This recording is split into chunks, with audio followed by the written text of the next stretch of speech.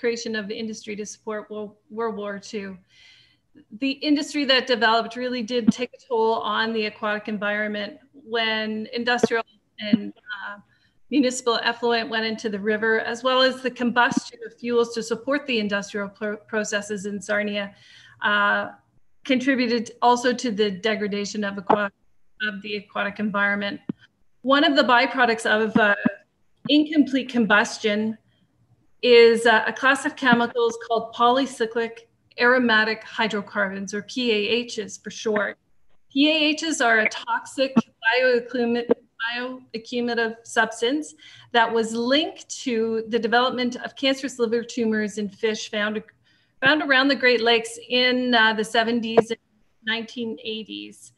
PAHs also occur naturally in coal and crude oil and gasoline. Um, and so these are all uh, industries that were on the landscape in the Sarnia area. So it's it was prudent to do some additional studies in the Sarnia area of bottom dwelling fish to see if they were being uh, negatively impacted by uh, these particular compounds. Sarnia isn't really the only area that had PAHs prevalent in the aquatic environment, just because, you know, um, in the 40s, the Industrial Revolution, there was a heavy reliance on uh, uh, fossil fuels uh, around the Great Lakes. So it was a very pervasive compound around the Great Lakes. And again, there was a lot of studies that linked PAHs to the development of cancerous liver tumors in, in fish. The next slide. So because of the studies in the 1960s, 70s, and 80s, um, there was uh, a lot of work done that recognized bottom dwelling fish uh, are really good indicators of uh, contaminated sediment. And PAHs is a contaminant that does bind to uh, sediment.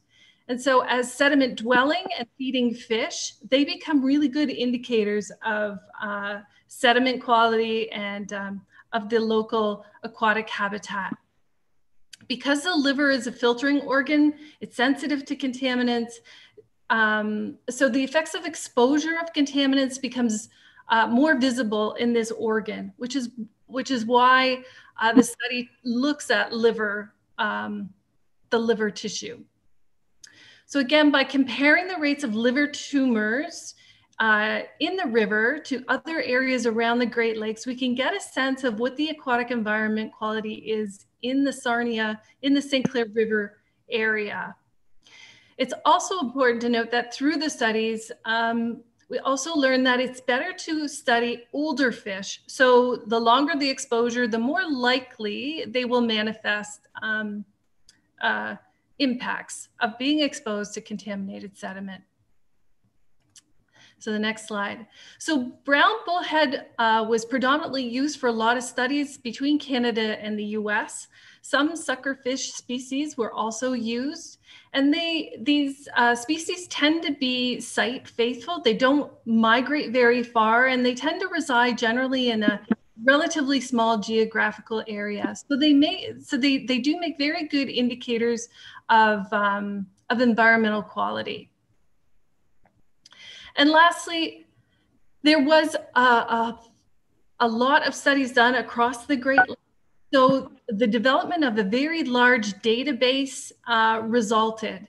And the database on the Canadian side was particularly important because it allows us then to compare um, uh, tumor rates across different geographic locations. So the studies uh, that we conducted in the St. Clair River, uh, there were a few. And if you are on slide six, here are the studies that we conducted. So on the Canadian side, particularly in the St. Clair River uh, Sarnia area, there's a significant complex of refineries, uh, as well as a history of coal-fired power plants. Um, and so it was it was really prudent to, uh, be, because of the landscape, to conduct additional studies. So there were several uh, that were conducted as early as uh, 1990, where um, some caged fish were uh, caged downstream from the industrial complex for two years. the, the, the records are old, so I, I don't know the number of fish, but there was one fish that developed uh, some changes in the tissue of its liver, suggesting that it might have developed into a, a cancerous tumor. So based on that one finding, um, there was a effort to conduct more studies to really determine if cancerous uh, rates were higher in uh, bottom dwelling fish than elsewhere across the Great Lakes. So in 2002, 67 livers were uh, analyzed from 17 different species. There was no cancerous tumors found. However, not all of these species were bottom dwelling and um, many were too young, meaning they were younger than three years old. So they might not have had sufficient exposure to develop these cancerous tumors. So in 2000, between 2002 and 2006, Environment Canada uh, embarked to conduct a huge study across the lower Great Lakes. And they conducted a particular study in the St. Clair River. Unfortunately, they didn't use the brown bullhead, they used the, the short head red horse sucker, which is another alternative fish species. And this species was used because it's, it's abundant in the river and it's abundant throughout the river. So of these uh, livers that were uh, collected, I believe there was uh, over 120, not one liver tumor was found.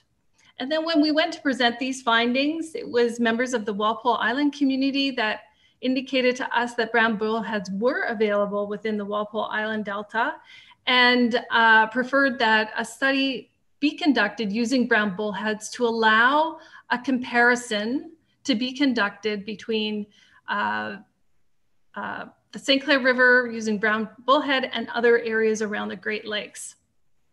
This was um, kind of the, the kickstart to a collaboration that resulted in 2013-14 uh, when Environment Canada collaborated with Walpole Island to collect brown bullheads from the Walpole Island Delta. This was um, this was a uh, I think a, a, point of pride for certainly for um, uh, myself and, and hopefully the Heritage Center, because we collectively uh, worked with the community to share kind of the, the, the study that we wanted to do and, um, and got feedback from the community on the study design. And we did hear from the community, they wanted this study done because of the concern that contaminants that were uh, being um, discharged upstream were settling in the delta. So this was really a win-win. We were going to conduct another study that would allow a greater comparison, and we were going to satisfy uh, concerns within the community about upstream contaminant settling in the delta. So the next slide. So brown bullheads were studied across the lower Great Lakes. And the result of this work identified an average tumor rate that occurred in these bottom dwelling fish. Similar to people, there's just an average rate where uh, liver cancer uh, or cancerous tumors develop in the livers. And that average rate was about 2%. And that was based on a collection of um, roughly 1,300 uh, fish from various um, areas around the Great Lakes. Um, almost half of which was from urban sites. So the combined uh, collection of these fish just uh, generated a roughly 2% kind of background or average uh, liver tumor rate. This was significant because this is really the benchmark now that we can compare uh, the liver tumor rates in the St. Clair River to. And the next slide. So the two key studies that were done in the St. Clair River, just to recap, were um, the first one on the short head red horse suckers, where no uh, liver tumors were found. And this was, again, conducted in the early 2000s. Um, 126 livers were collected from the river and 100 were collected from Lake Huron. No liver tumors were found from the fish collected in the St. Clair River, while one liver tumor was detected in a fish collected from Lake Huron.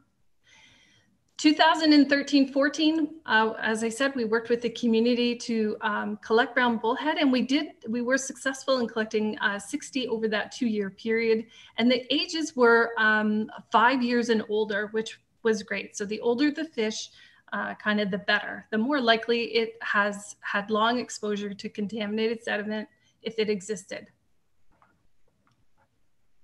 Next slide.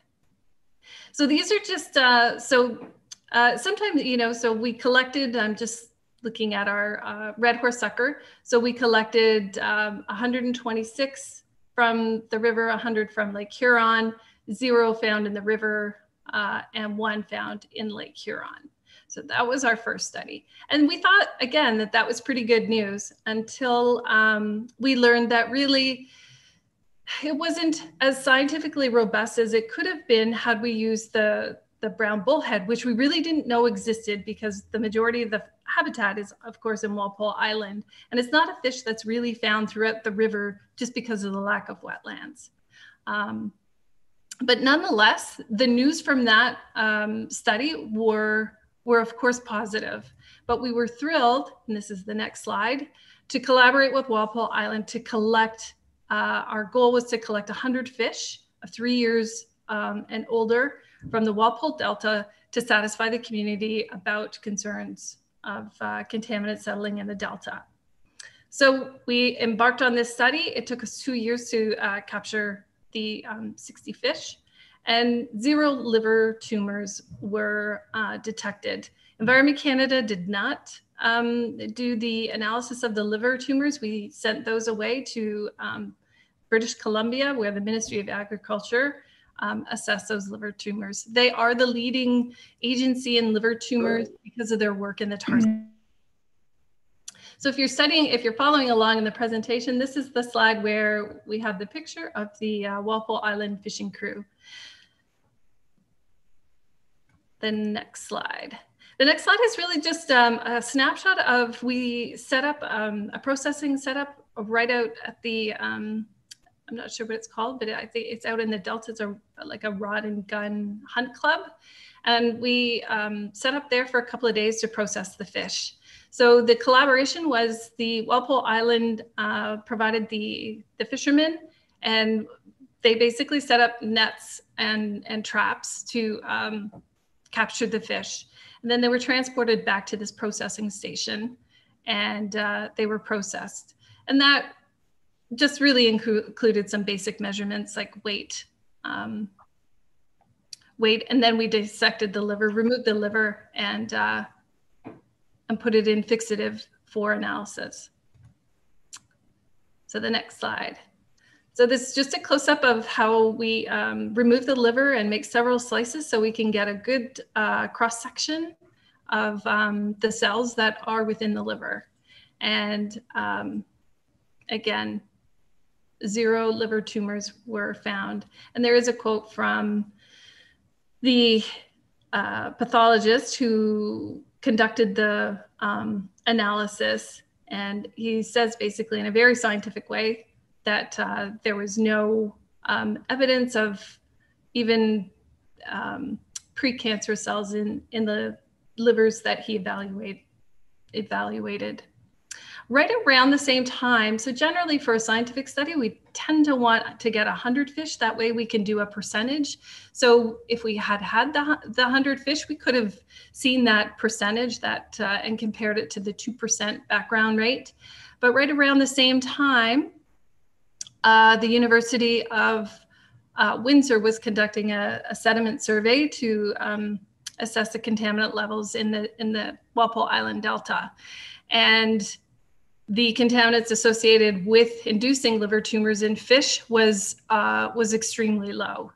And so, in consultation with the Heritage Center, we opted to preserve the um, the brown bullhead population within the delta and uh, and not try and collect the additional 40 fish. Um, but we we do just based on the 60 fish that were collected, it would be unlikely that we would have um, you know the remaining 40 with with a high with a high uh, liver tumor rate. And so our the last slide, and I'm sorry if I'm moving fast. Um, so when we this is one of the uh, 14 criteria that we assess uh, kind of areas of concern around the Great Lakes. These are highly degraded areas around the Great Lakes, and we evaluate the prevalence of liver tumors in, in bottom dwelling fish. And so we, we basically asked two questions. Um, was the incidence of liver tumors in the AOC, so within the St. Clair River AOC, did it exceed uh, the rate at um, an unimpacted site? So Lake Huron, for example, is a really good reference site for us. It's upstream of the industrial com complex. And no, our rate was actually lower. Uh, we had zero with liver tumors, and Lake Huron had one. And then, um, did we find any uh, kind of cancer tumors at all in any of the studies that were conducted? And the answer was was no. So based on uh, the studies that were conducted, the uh, Canadian Remedial Action Plan Implementation Committee, of which Walpole Island is a member, is recommending that this criteria be designated as not impaired. And so today, I, the last slide is my um, Miigwech. And so tonight, I just wanted to share those results. As I said, the report and the uh, um, engagement with Walpole Island uh, over, I, I, think it's spanned about four years now, has been nicely summarized by Naomi Williams at the Heritage Center. And um, the intent of the presentation was to uh, really, I guess, uh, solicit the Chief and Council's um, uh, comments or questions and um, to complete, I guess, our, our engagement, our consultation process on this uh, specific um, criteria. So any questions?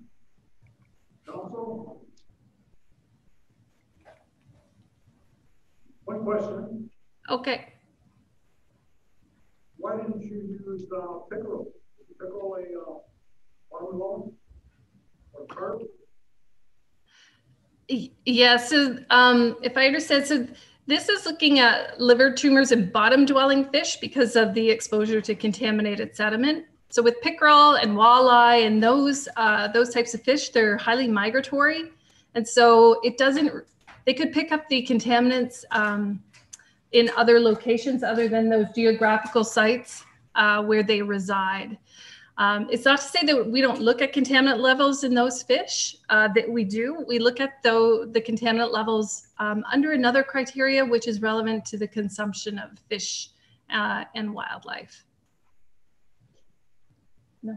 So we did, um, you know, hear from community members regarding, you know, the prevalence or the observations of tumors on pickerel. Um, we held a workshop where where this was brought up, and we explained then um, the reason why brown bullhead are chosen is because they're in contact with the sediments where the uh, the pollution is uh, settling. So to get a better indicator of um, local contamination, we looked at brown bullheads. Whereas if you're using walleye, they could be picking up the contamination from you know some other river or some other place and that doesn't give us a good indication of you know where they picked it up from and what those levels would be like and how they affect our fish here at home. Uh, brown bullhead also um, um, stay within a small home range so they don't migrate mi- uh, migrate very far. So they're good at um, and as an indicator species and showing you what the pollution looks like in a spot that they were caught.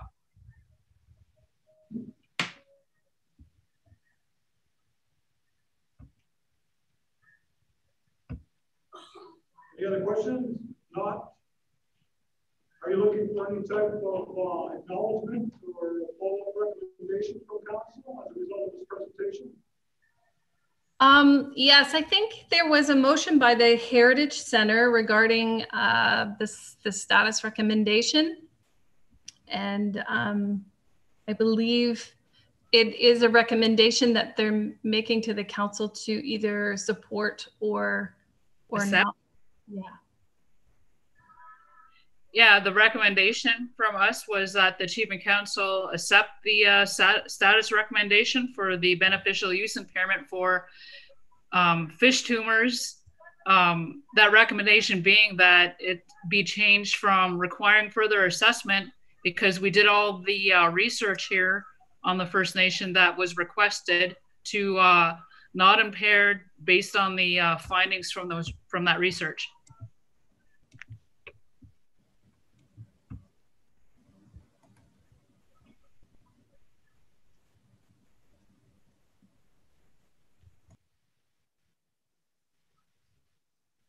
Ron, I guess this is one question. I guess uh, I think I'm getting along with the chiefs trying to say. I guess think about is uh, dietary intake of our community members of fish. I know we take a walleye or perch or bass in, and yes, they're not uh, bottom feeders, but we also uh, harvested uh, and ate sturgeon and catfish and even bullhead, or not bullhead. Uh, dogfish. And he, I think you did mention carp too, right? So I, I, guess those those are things that I guess would uh, bring in my mind, uh, since we consume those and harvest those at specific times of the year, uh, how would those affect our forefathers or ancestors since this been going on? I guess um, that would be a, a point taken. And I guess it's kind of late now, but I think that's what we're getting at is uh, the effects of those fish that we eat. And we also take water intake as well, and other things, water. So I was just wondering what the compounded effects would be. That's all. Okay. Um, regarding the uh, our consumption of fish, there is a, a, separate beneficial use impairment directly related to fish consumption where these things would be looked at. Am I correct, April? Uh, yes, yes, that's that's correct. Yeah, and I, I think we hear that a lot. Um, you know, how is the indicator species selected? And and uh, people tend to uh, want to see species that are uh, that are more readily consumed or commonly consumed. But you know, these brown bullheads and, and other sucker fish, so the shorthead red horse sucker and other white suckers are up north. Um, they just have a history of being used um, in, in earlier studies, which really builds a database to allow comparison. And so um, uh, just for, can, you know, to allow comparison and for consistency, um, continuing to use the brown bullhead, some of the other suckers is is kind of uh, it's recommended. But I we do get that a lot. Why why this species and and it is, a, as Naomi explained, a really good indicator of local contamination because they do res, they are site faithful. They don't travel far. Um, they are they dwell and they feed from they feed from the insects that reside in that muck. So they have very very high exposure versus another fish that might be more um, predatory or migratory. Um, and as Naomi said, I know it's it's really confusing about you know this uh, how we look at each of these 14 different criteria kind of separately, but we do have one specifically where we do look at the consumption and the contaminant levels in uh, fish that are are commonly consumed consumed. And just for information's sake, the uh, fish consumption beneficial use impairment is still listed as being impaired. Yeah. Yeah. Yeah, I mean it if I can just, you know, I know I know time is tight, but these these geographically really degraded sites around the Great Lakes, most are in the US, several are in Canada. A lot of the degradation resulted from contaminated sediment from industrial and urban pollution. And so um, this is this is one way to try to measure the impacts of contamination on on fish. And uh, again, these bottom dwelling fish uh, have been studied extensively in Canada and the US. There is a huge database, and uh, they, they really are felt to be a really good indicator of, um, of, of local conditions. And then again, the sediment study that was conducted by uh, the University of Windsor, um, it, we didn't proceed to, to catch additional fish because the contaminant levels were, were very low in the delta, particularly PAHs were well below um, any guidelines associated with the creation of liver tumors.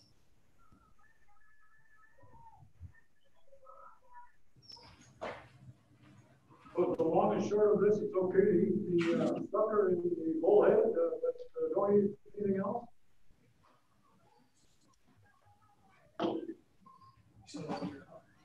I'm sorry, I didn't catch that. My, uh, I had some background noise.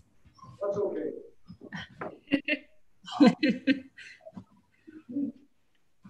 Well, thank, I think it was just making a comment. So the long and short of it of it is don't eat the brown bullhead. I think that is what he was saying.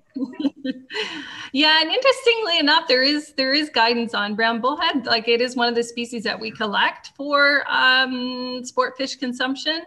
Um, and so we did, as part of the study, provide um, the Ministry of the Environment with with fillets to um, so that they could examine the, the contaminant levels in the in the fillets of, of those fish. So we have current data now uh, that they can use to provide some guidance on consumption of those fish species in particular. For their uh, fish consumption guidelines, you mean? Yes. Yeah. Okay. And I make a motion to accept their presentation. I also make, uh, if you want to do the follow-up, uh, to accept their recommendation for their approval. Second, please. Second by uh, Burton. All in favor? Are there any uh, objections, abstentions? I hear none. Motion carries. Thank you. Thank you. Thank you very much. Miigwech, Bamapi. Bobby.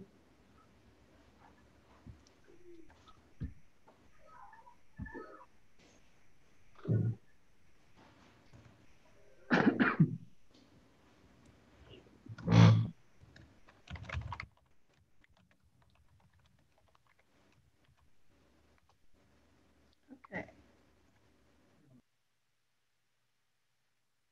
students?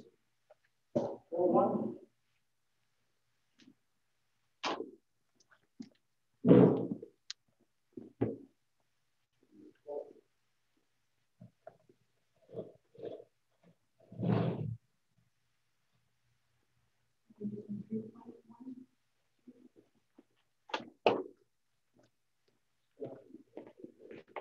Tuesday, Q1.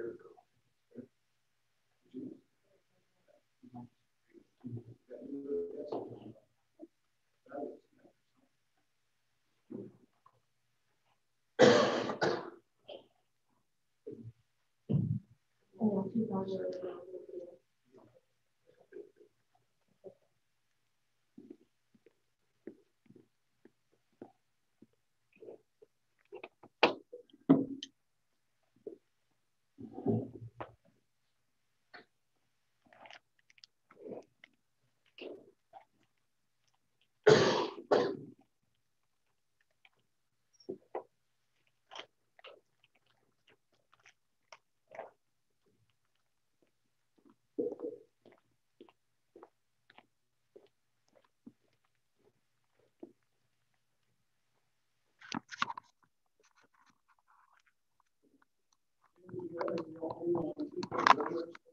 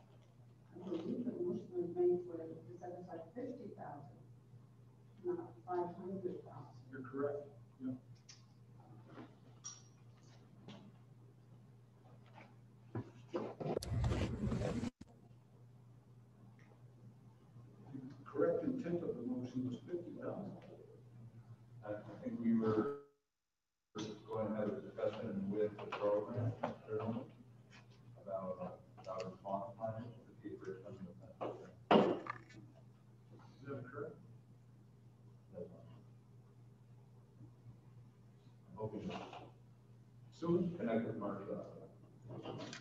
We connected with them, but have you connected with them? I, I've talked to, um, the navigators, and I have some additional information. I have talked to them regarding um, request for reimbursement of the cost for that Jordan's Principle unit. Um, since when it was opened, and even cost back to two thousand and sixteen that can be identified and maybe added for reimbursement under Jordan's principle dollars.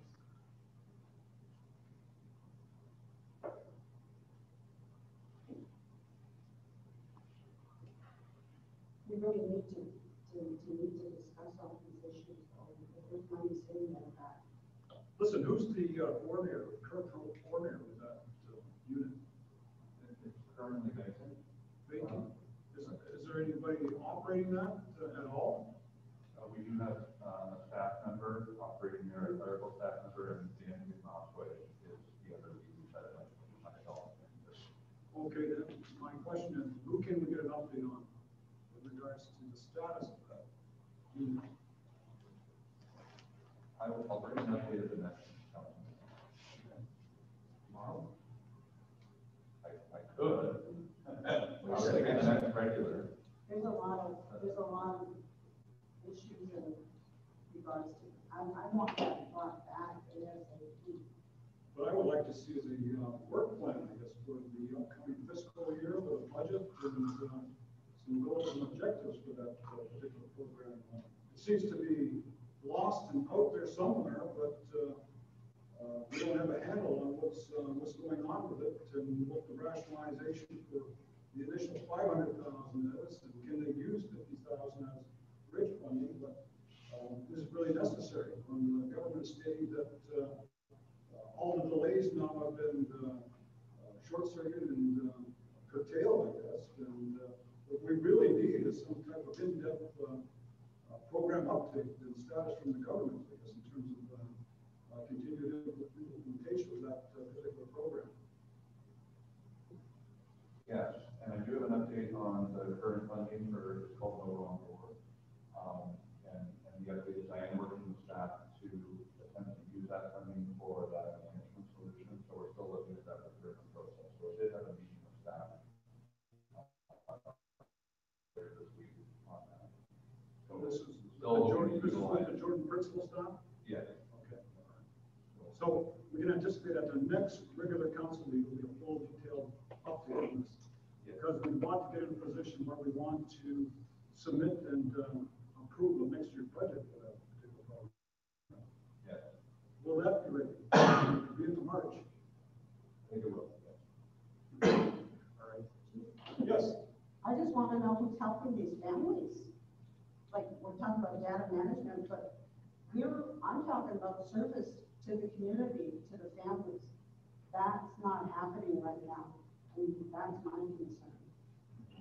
it's also my uh, concern because um, we're going through a crisis within this community in terms of the COVID-19 and all the hardships. that's pressing down on these individuals and uh, um, Ontario Works and Jordan's Principle and other support programs should be bending over backwards at this point in time during the winter season to help these people, even the homeless. But uh, we should be uh, looking at ways and means of uh, making life a little bit more comfortable for these individuals.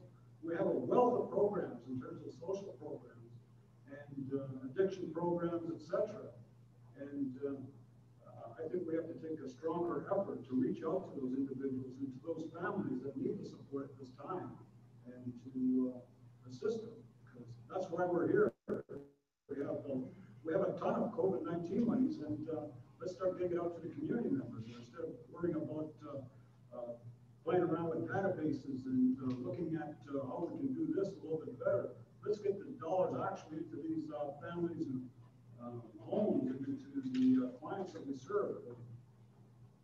That's how I think we can improve upon this delivery of the services. And I agree with Marcia that uh, we have to do something real soon, real quick, I guess, to get this thing back on track because we're looking at a new fiscal cycle and uh, Uh, there's a lot of people out there that are hurting that we have to, uh, um, assist.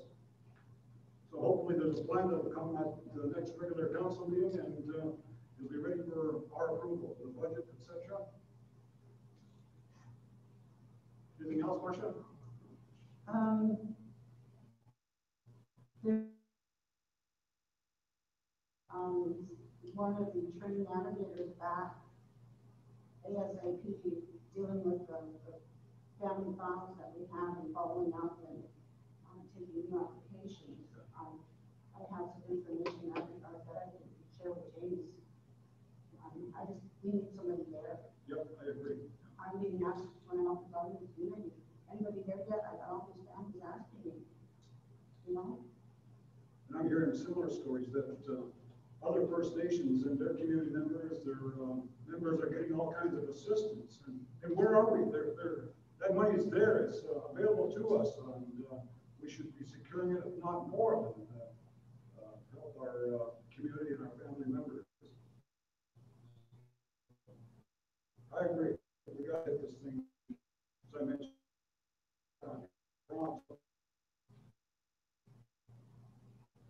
So I will leave that up to, uh, Marcia, you could, uh, meet with James and, uh, see what we can do to, uh, get this program going again.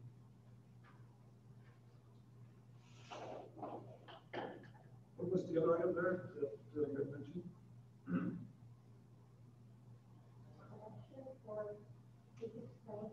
Fifty thousand, okay. We need a, motion for that, or is that just a change in the minutes? A correction then. Those minutes will be corrected. Marcia, you had mentioned another one there? What is the, one that was fifty thousand? One that came to mind.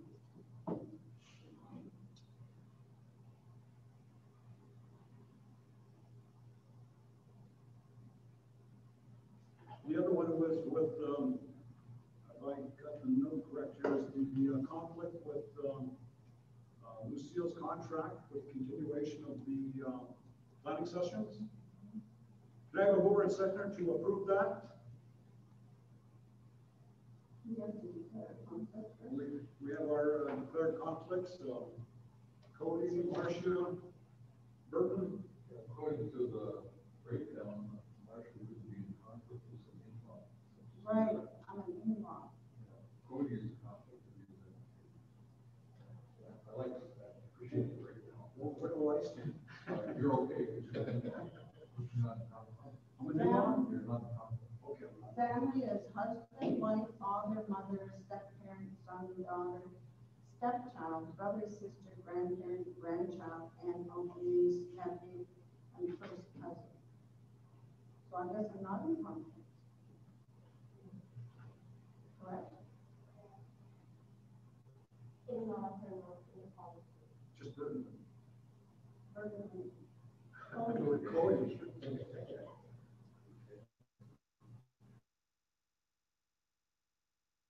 To, um, formalize that contract? There was a mover at one point, we didn't get second. It was my father. Tyler?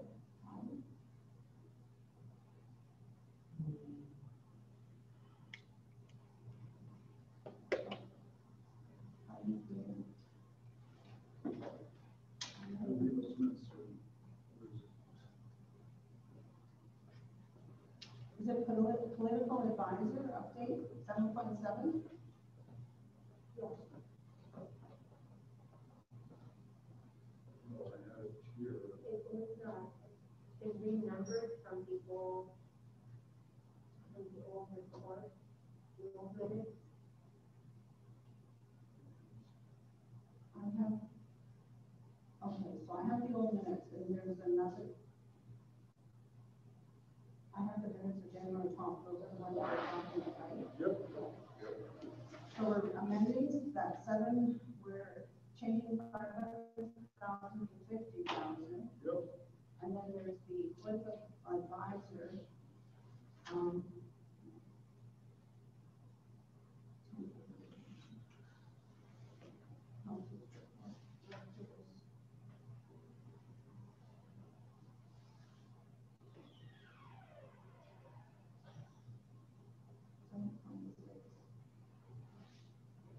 Okay, seven point seven, is that the filtered section, I guess? So I will rescind my movement.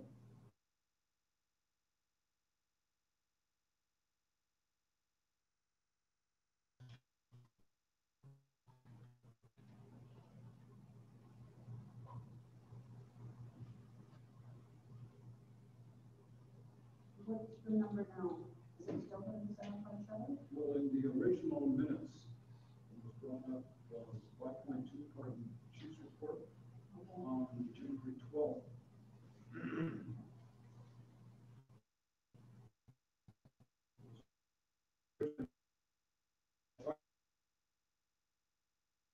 Voiced concern, so many people laid problem with that. As a result of that comment, there's no seconder. James? Chief, what you want to do is approve the minutes, and then if business arising, approve the. So these ones haven't been, uh, oh, they weren't, uh, attached to our last meeting. That's right. We didn't have them. All right, now a second for the January twelfth minutes with the noted, uh, correction of fifty thousand now to five hundred thousand. Moved by Marcia, second please. Second by Lee. All those in favor of the January twelfth minutes? I declare the uh, minutes carried. Now, business arising out of those minutes, the contract in question for the consultant to continue on with our planning sessions that we have coming up in the first part of uh, March, very soon, next week, I believe. Do I have a mover and second for that contract? Question, Yep. is that attached here? No? That Would have been in the- the previous ones? James? So we did approve for the contract for just the planning session coming up, but there was a proposal where there would be assistance for planning sessions for the coming year. Yeah. And so that's what, has- that's what hasn't been approved. Okay. So we do have approval for just the meeting. I see. So are we approaching it on a, um, on a venue basis, I guess, uh, as the, uh, bill comes in, we pay it, or, uh, Well, we have council approval for the planning session next week. yep, But at this meeting, we had put a proposal forward for many planning sessions to take place over the time. right, yeah. So if you wanted to revisit that proposal, you can make a motion now, or we could bring it tomorrow. I think we're gonna have to bring it back, yeah. Because, uh, as I recall, there's been a change in the amount as well, isn't there? Yeah, okay. That will be tabled and that will be, um, brought up as, uh, new business, I guess, new item. Okay, so we're good, we're good to go for next week. Yep, All right. maybe we can do that in the, uh, planning session itself, we'll do it the- the contract. our discussion of that. Okay, we can proceed on with minutes.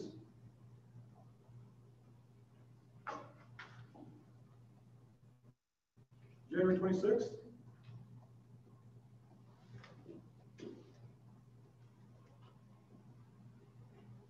Any questions on those minutes?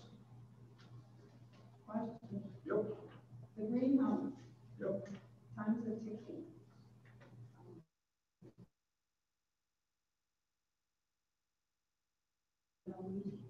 Uh, forty-six thousand,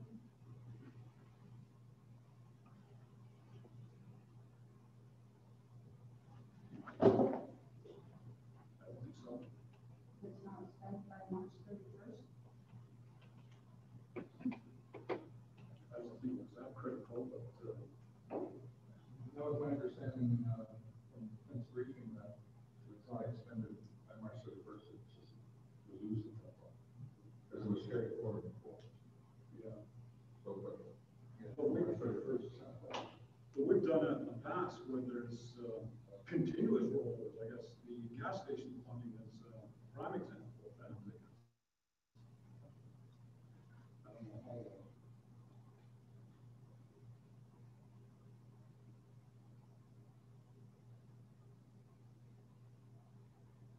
James, have you got any, uh, status on this, uh, greenhouse project? I know they've been meeting. Um, I, I don't, are there any counselors? We only one task force meeting and, uh, um, the task force, as I understand, was satisfied with the, uh, with the way forward as a nonprofit. Uh, But I understand that the subsequent meeting, which I couldn't hear everything that was on, but I, I was, a- I was the Zoom, Zoom connection, which I couldn't, I couldn't hear the the discussion, so, uh, um, my understanding was that, uh, council recommended that we go on and provide specifics as to uh, verifying the five acres and also any, any support for shortfalls. Uh, So, uh, according to Lyle, that was, uh, given, but I don't, I don't have a problem with Tagani providing that, uh, that detail. Uh, My suggestion is to go forward with the not-for-profit, but if there's a, um, a council to go for a profit greenhouse complex, why not do both? Uh, and I would recommend that the take the lead on that. They have to do the feasibility study, the, the, uh, all, all of that, the work plan and so on. And it would probably end up being a subsidiary corporation of I don't see why we can't do both. Have the not-for-profit and also the profit enterprise as well, do both. In the meantime, we have this, this one greenhouse at least up and running within a short period of time. And that's, that, that that becomes a template, I guess, for the future greenhouses that are, that are developed. Anyway, that's my thinking, my recommendation. Prove prove this, uh, if you want to wait for Devon's confirmation of the, uh, availability of the land and, and support for shortfalls. We still have till March thirty-first according to this briefing. Uh, But my recommendation is to go forward with it as a not-for-profit, and then do the uh, feasibility and so on for, for profit greenhouse complex.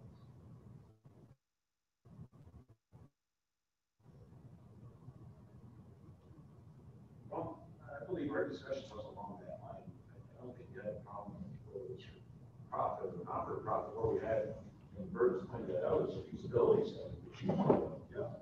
Uh, either or, wherever it's gonna be profit or not for profit, because where are the funds gonna come year after year, and other things, so you get a, you might get a commitment from Tagani now to get the additional start, but you have what it costs at, at the end of the day, so those are, concerns in the business plan to keep it going so that it's residual.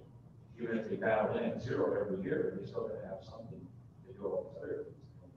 And that's what was being stated, was it would be nice to have that because, you know, you don't wanna see it fail. And that's what she, some others stated, and we, that's how we can do in, uh, in market.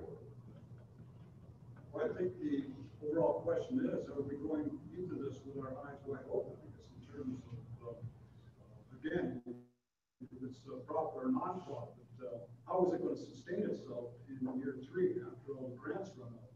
Is Tagani making a full-blown commitment that they're going to pick up the operating costs in year three or four to uh, support that enterprise?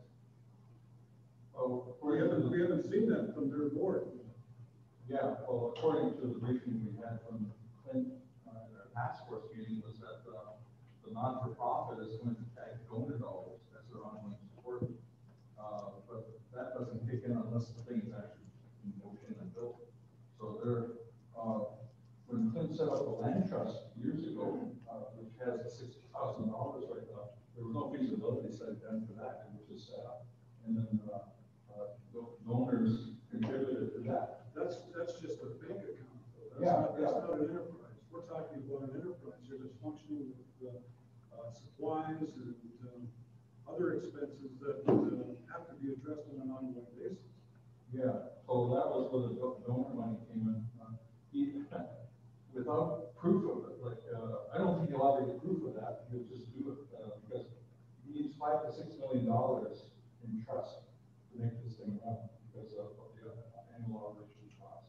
So if we're not getting, uh, verification that those donors are that solid, it's not gonna fly as an option. Because he doesn't really want, I don't think Heritage Center wants uh, own source revenue or, uh, ongoing bonding revenue for the maintenance. So the, the game plan is, is to secure donor money once, once the thing. that's, that can't be confirmed at this point, but, uh, Heritage Center, uh, feels they have those, uh, those commitments, if this goes forward, it's not a problem. I understand that. Still, we need the, um, business model to uh, outline what those expenses will be. It's a five-year plan. Yeah, and, and I think, uh, not only that, but you got Kenani and Miles, we're only using Miles' word without any minutes. Now, where's who's been saying, well, we'll help them with that five-year plan, and here's the minutes, where we got this from, here's what we're. And this is what we're willing to dial in, that's all we're saying, we're not, we're not going totally against the grain, I think we're, we're looking for some of these things, uh, you know, it's given, I mean, we start it up, and you start it up, it might just flop, and then that, not, you sit idle.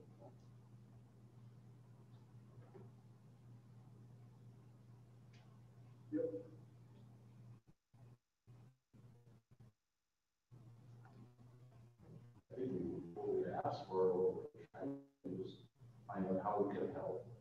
And that's why we gave, have we assigned a task force and if we can get the recommendations and I guess what in kind of donations can we also. Uh, to provide that, whether it's some sort of economic development plan or something like that, I don't know. Just, And I think at the very least, we're looking for some kind of board minute or motion from them supporting this uh, specific project. And uh, although we had a verbalization by perhaps two board members, we haven't seen any board minute to support that.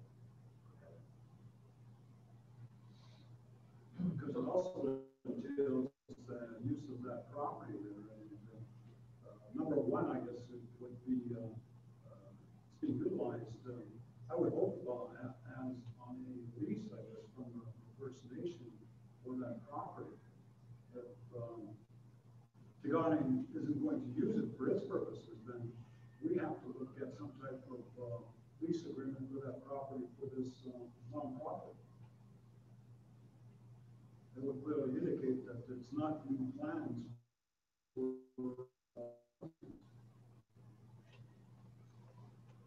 Plus, we got into the side subject of um, all the necessary infrastructure in terms of how that was going to be addressed. Was Tagani going to address that? So, um, this is endless plot, I guess, going to uh, um, cover those expenses. And what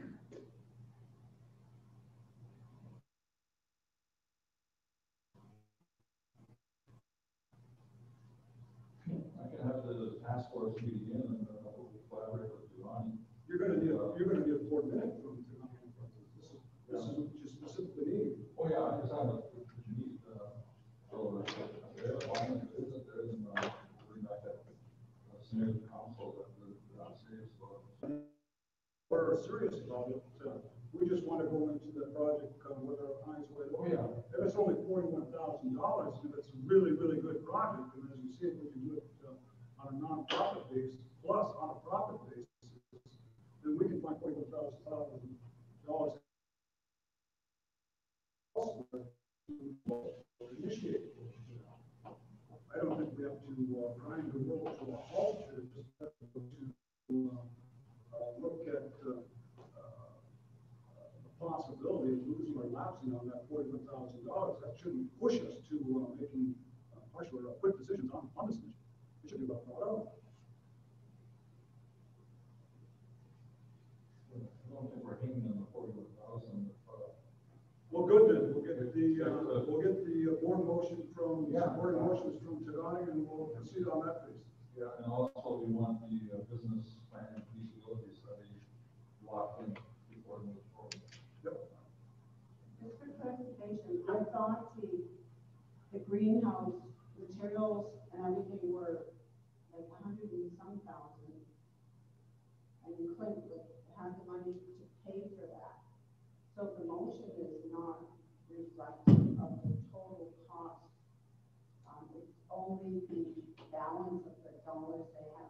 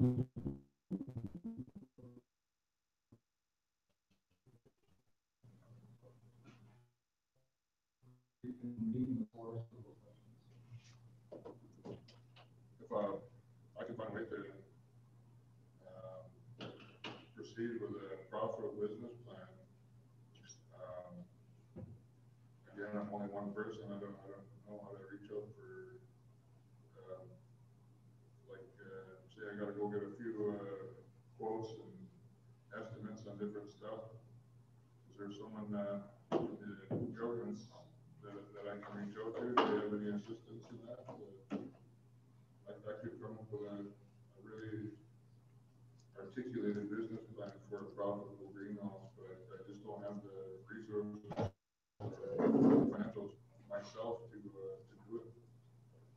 Um, um, if- if, uh, idea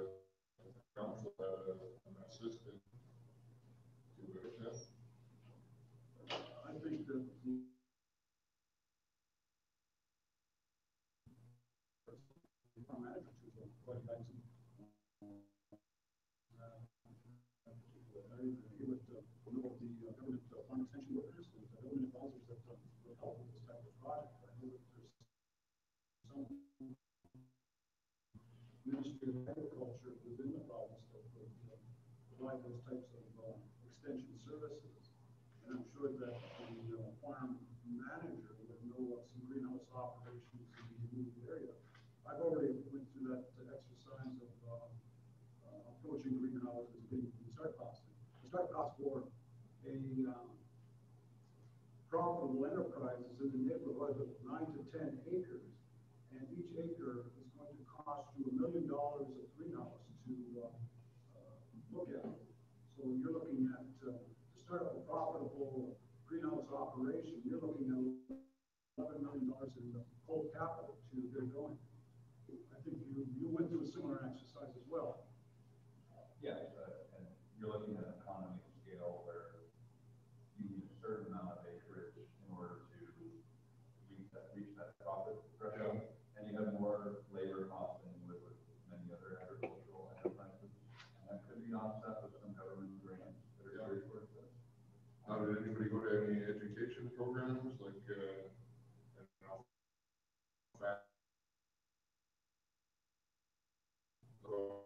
Culture plan, and they were actually looking for someone to donate their three million dollar greenhouse. They were just gonna give away, so these, there's, uh, there's a lot of windows like that, places look for.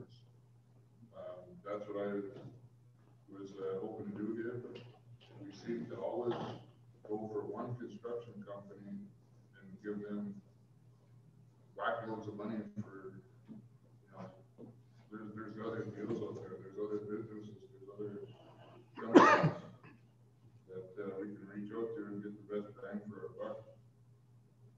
There's, there's people willing to help, like, uh, the colleges.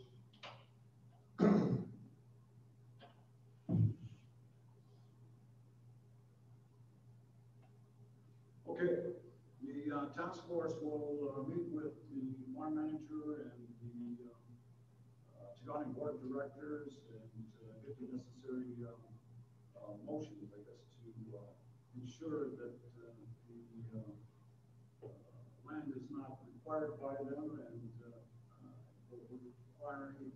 uh, transfer of land, I guess, no, a banned uh, lease, I guess, for that, for that operation. So that uh, will also be required from the lands department. Agreed? Okay.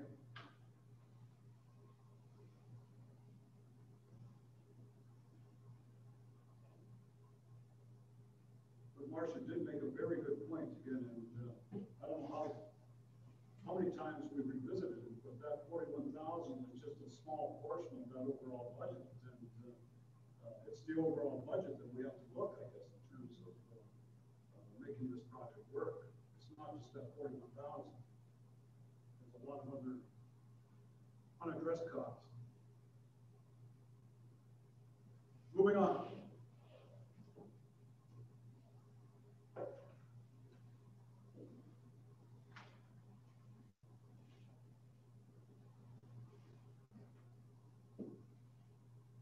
So finance, do we have the uh, mover and seconder for the January twenty-sixth minutes? No, no, Pardon me? no, no. Okay, can I have a mover and seconder for the January twenty-sixth minutes? Moved by Ron, second by Cody, all those in favor? Those are carried. February 9th, regular council meeting minutes. You've had time to review those. Questions? I see no questions. A mover and seconder? One, mo- uh, one motion where I should have been recorded as a conflict, uh, although you couldn't hear me on Zoom and I couldn't hear you anyway. so. Can anyone hear me? Hello? Hello? Hello? Hi, Chief. Yeah, On Fe- February 9th, 7.2, I, my vote should have been abstention. And it says I, I wasn't, my vote wasn't marked or something. it's noted down. Okay, thank you. Okay, Burton? Five point nine, I should have been listed as a conflict. because I was using, uh, the seal. Five point nine. You didn't move it, did you? No, wrong, wrong. no. I didn't even know you guys were dealing with it.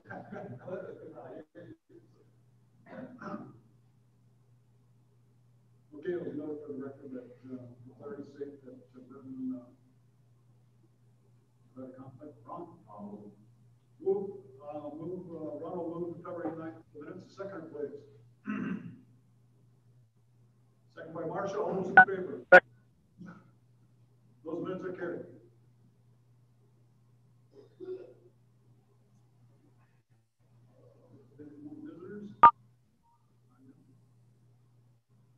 Moving on to uh, Personnel Committee meeting minutes, uh, meeting minutes of February 10th. HR.